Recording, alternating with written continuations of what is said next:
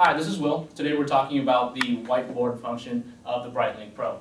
You're going to turn on your projector. The first thing you see is the welcome screen. The welcome screen is going to direct you to the help menu at the very bottom that's going to give you an outline of what all the icons are going to do. We're going to walk through them one at a time.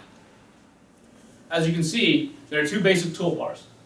There's a side toolbar that gives you editing tools. It can be open and closed on both sides. And you have a bottom toolbar that gives you access to your various input sources and other material. So let's dive into our side toolbar.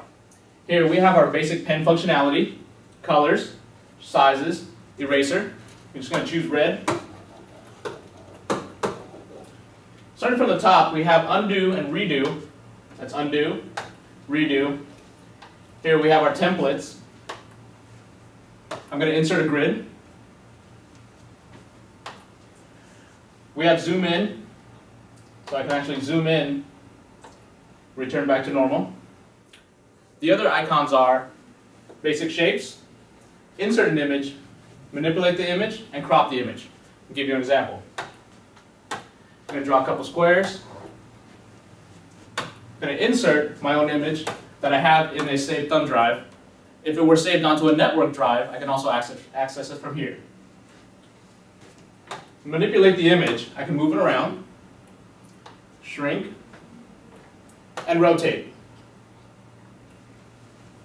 I can also crop the image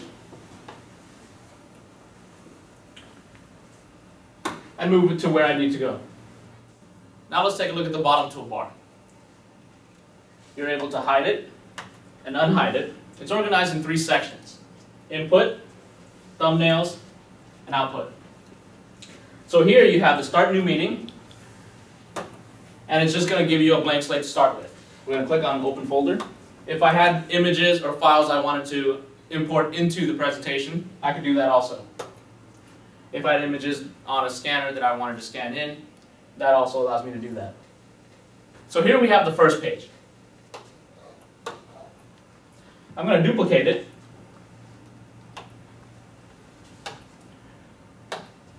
erase page one, change that to page two. Add another page. Make that page three. Move it by pressing down and sliding it over. You can also delete the slide.